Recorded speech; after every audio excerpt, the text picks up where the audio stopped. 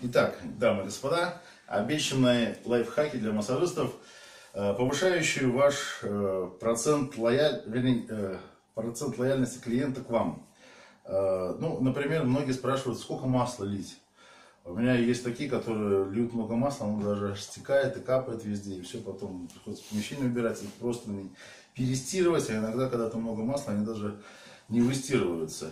Некоторые мало льют масло, но тогда получается, что ну, в данном случае у нас э, пациент э, без волосы, э, на спине нет волос, да, но иногда горит просто кожа, да. А иногда, если есть волосы, так они прямо выдергиваются. И тогда получается вообще воспалительный процесс, забиваются луковицы, выдернутые, пустые, да, маслом. И иногда, ну, на ногах это часто бывает, иногда просто, ну, вот он собирался в Таиланд поехать, там на массаж пойти, ему даже было стыдно пойти, потому что все ноги были красные. Э, вот у одного моего знакомого массажиста такой результат был у клиента. А, соответственно, масло надо лить столько, сколько нужно.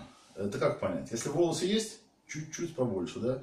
Если нету, чуть-чуть поменьше. Mm. Ну, как это определиться, вот чуть-чуть больше, меньше, это все индивидуально, на ваш взгляд, на ваш глаз. Но чтобы Единственное, чтобы сразу не перелить, я рекомендую иметь дозатор такой, достаточно маленький. То есть вы нанесли вот капельку, да, размазали, растерли где нужно.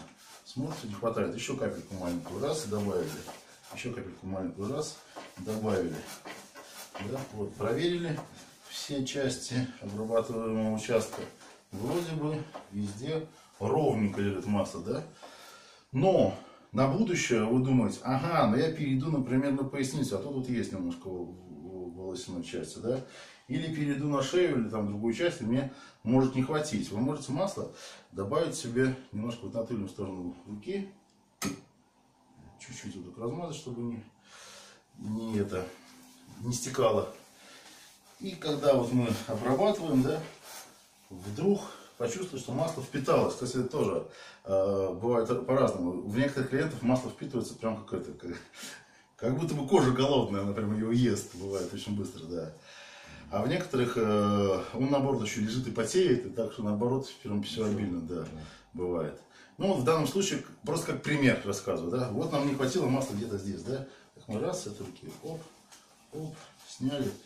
И уже можем работать, соответственно, и с двумя половинками одинаково. Вот такой вот небольшой лайфхак по использованию масла.